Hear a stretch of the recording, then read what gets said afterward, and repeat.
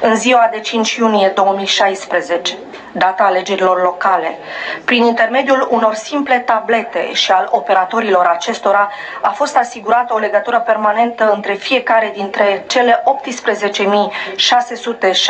18.616 secții de votare și registrul electoral. O altă premieră înregistrată la alegerile locale din acest an a fost reprezentată de desemnarea computerizată a președinților birourilor electorale, ale secțiilor de votare și al obțitorilor acestora din corpul experților electorali gestionat de Autoritatea Electorală Permanentă.